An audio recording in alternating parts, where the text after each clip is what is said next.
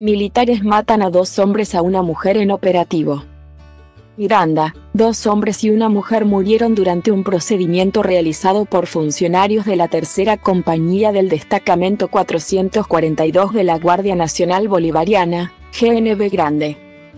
El operativo se realizó en el sector Sucuta de la ciudad de Ocumare del Tuy, municipio Tomás Landar del estado Miranda, la tarde del sábado, 25 de febrero.